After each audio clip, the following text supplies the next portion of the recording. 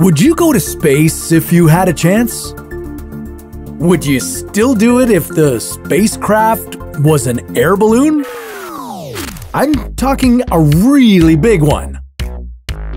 What kind of training would you need to complete before you went up there? How high into the atmosphere would you get? And what are the chances of getting whisked into space? This is What If, and here's what would happen if you rode a balloon to space. Ever tried breathing in a lung full of helium? Helium makes the sound waves that your vocal cords produce travel three times faster than normal. And that makes you sound like a Pixar character. We represent. Helium also makes air balloons float up in the air. It's kind of a big deal because of how rare and non renewable this gas is. That's why the air balloon that would take you to space wouldn't be filled with helium. It would be fueled by another gas with a similar effect hydrogen. And it would be the experience of a lifetime. In essence, what we do is take a capsule up with a balloon big enough to float on top of the Earth's atmosphere and then float there for a few hours and then gently float back down uh, and splash down uh, in the ocean and get picked up uh, uh just like, uh, like the SpaceX capsule does. Okay, wait, I didn't know you could get to space so easily, but that's the concept that's being developed by a company called Space Perspective. And we've got their founder and co CEO, Taber MacCallum, on the line. So, Space Perspective is developing Spaceship Neptune, which will take eight people and a pilot to sort of the essentially the edge of space, about 30 kilometers or 20 miles up, using a huge balloon the size of a football stadium. I don't know about you, but I'm sold. If you've always dreamed of seeing the North Pole, this might be your chance to take a cruise above it. Or maybe you've always wanted to look at clouds from high above. Take a good long look. Maybe you'll see the world's number one cloud business system. Hey everyone, I'm Peter and this is Richard, and we're on the set of our What If Discussed podcast because we want to bring you a message from our friends at netsuite.com.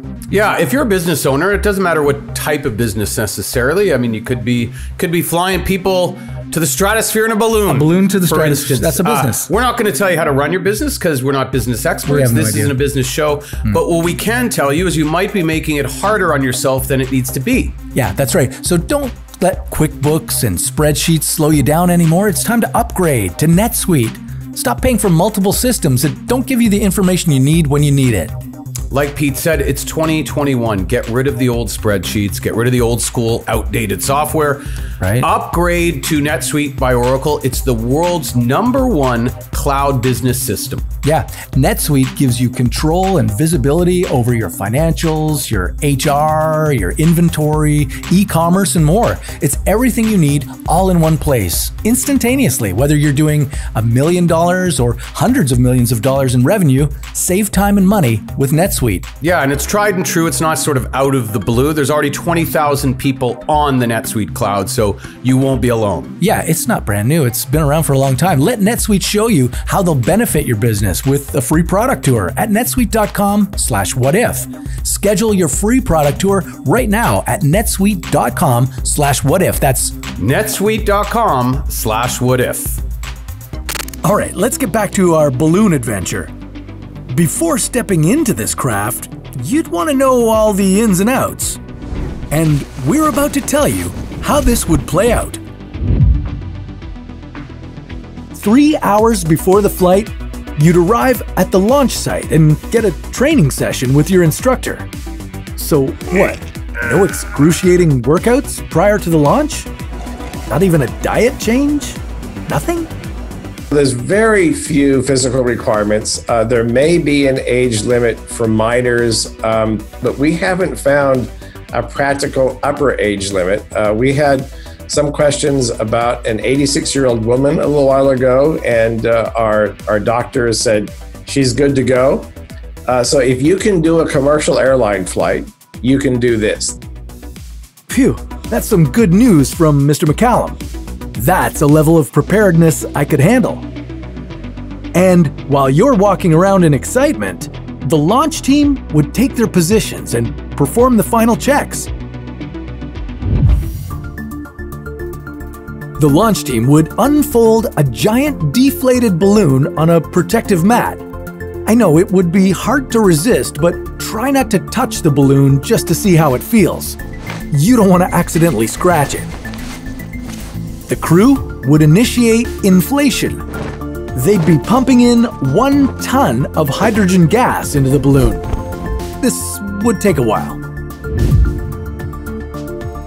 Finally, you'd step into the pressurized cabin of the spaceship Neptune, and the 200 meter tall balloon would lift off. When you fly a rocket to orbit, then you're going so fast that you essentially keep missing the Earth. You're always sort of flying around the Earth. If you go up on a Virgin rocket or a, a Blue Origin rocket, you go up and then sort of parabolically fall back down. And what we do is we go up and then sort of float there slowly and then gently come back down. So, a big part of that experience is actually the slow ascent and slow descent. So, when you when you talk to a, like a pilot or even an astronaut, you know, the, the, the getting into orbit part or the getting into space part is so fast, you don't really have time to understand, sort of mentally grasp what's going on. But we take two hours to get up there. We're going at 12 miles an hour. So this, this is like bicycling speed to the edge of space. You wouldn't be alone on this oversized hydrogen filled balloon. You'd share the cabin with a pilot and seven other passengers. And you'd be riding in luxury. The cabin would feature huge windows, comfortable seats, a bathroom, and, of course, a bar. It could be the perfect romantic getaway with a great view. At 19 kilometers an hour, some two hours later, the balloon would take you to the altitude of 30 kilometers above the Earth's surface. You'd cruise around for the next couple of hours, take in the sights from the stratosphere. It would look gorgeous up there, but that's not exactly going to space, is it? Stratospheric balloons, like the one carrying you aboard the spaceship Neptune, can only reach altitudes of up to 50 kilometers. That's only halfway to the point where technically space starts. The way buoyancy works is that um, the atmospheric pressure on the surface of the Earth is higher than the atmospheric pressure a foot above it, which is higher than the atmospheric pressure a foot above it. And so as you go higher, the atmospheric pressure gets lower. If you make a balloon and you and you make that volume less dense than the atmospheric pressure around it, that says so we do that by filling it with helium or hydrogen. Essentially what's happening is the the atmospheric pressure at the bottom of the balloon is pushing it up because it's less than the atmospheric pressure at the top of the balloon. But this big balloon could only get so high before it becomes heavier than air. And its buoyancy wouldn't be enough to push it up any higher. That limit would be somewhere around this mark, where it's too high for commercial airplanes, but way too low for rockets and satellites. It might not be outer space yet, but it would be high enough to see the Earth's magnificent curvature in all its beauty. After a few hours of enjoying the view, you'd start to descend back to Earth. Your pilot would begin slowly releasing the hydrogen. After two more hours, the crew would deploy a parachute and safely splash down into the ocean. Shortly after the landing, a ship would pick you up.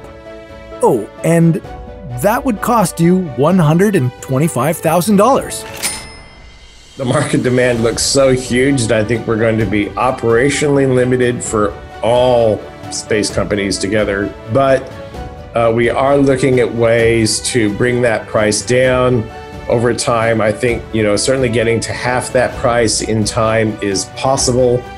And then it's becoming sort of a lifestyle change question for a lot of people. You know, do I get that new car, that bigger house, or do I decide to go? If you were determined to ride a balloon all the way into space, you could bring jet fuel, hijack the spaceship Neptune, and use rockets to launch the balloon from the stratosphere all the way up to space. Well, you wouldn't make it very far into outer space. It's not that easy to break free of Earth's gravity and leave the Earth's orbit, so no danger of that happening, but if your rocket suddenly malfunctioned, you'd be toast. You know, there are other ways you could travel into space without jumping into a rocket, but that's a story for another What If.